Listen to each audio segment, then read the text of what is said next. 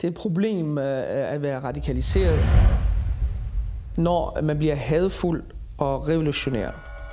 Vi ved aldrig, om det egentlig er et ungdomsoprør på lige vilkår med alt muligt andet, eller om det egentlig er en radikaliseringsproces, der er i gang. Det at være for noget og være imod noget, det er det, der betyder noget. Der er jo en form for tryghed. Jamen, radikaliseringsproces er jo en accept af brugen af voldelige midler. Øh, Man betragter sig selv som renere end de øvrige, og man retfærdiggør, at man har ret til at krænke deres ret.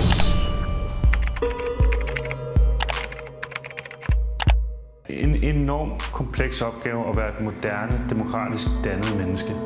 Det var en periode med, med at finde sig selv på en eller anden plan. Ikke? Og der fandt jeg så svarene øh, præsenteret for mig, og det hele blev så smukt. Man begynder at svæve i sin egen boble. Jeg kender nogen, der er blevet ekstremt troende. Det er fællesskaberne, det er anerkendelsen, øh, som betyder noget. Politi! Kontrol! Intolerancen er problemet. Jamen, typisk så er det øh, nogle frontmedarbejdere, som oplever unge, der pludselig ændrer adfærd. Man, man kan ikke trænge ind til personen sådan noget. Jo mere sej og barsk du var, jamen jo, jo, jo højere op i hierarkiet kom du.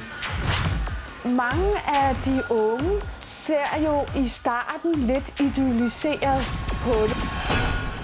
Så det var fedt i momentet, når man var ung. Ung, øh, forvirret knæk, som ikke vidste rigtigt, hvad man skulle lave. Jamen, så var det sgu fedt.